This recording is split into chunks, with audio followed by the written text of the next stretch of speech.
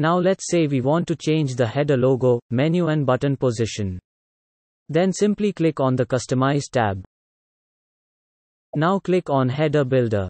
Now here we can see this type of section layout. If you guys don't see, then simply click here to view Header Builder items.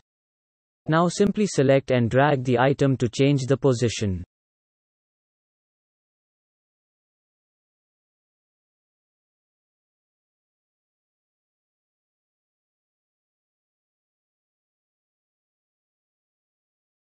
We can also change the position for tablet and mobile devices.